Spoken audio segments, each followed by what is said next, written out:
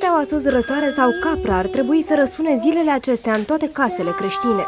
Există și o superstiție a noastră cum că nicio ceată de colindător nu este refuzată pentru că ei practic îți aduc noroc, îți aduc sănătate și uh, rememorează această mare sărbătoare a creștinătății, nașterea lui Isus.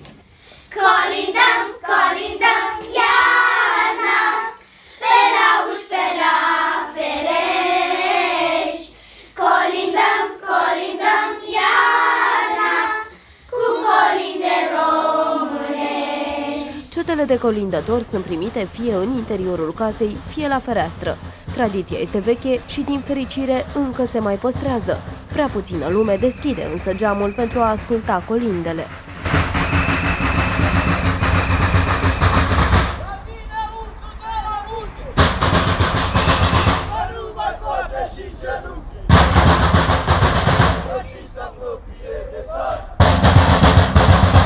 Țuica fiartă, deci colacii, copturile, cozonacii erau categoria de uh, daruri pe care le primeau uh, aceste cete de colindători adulți.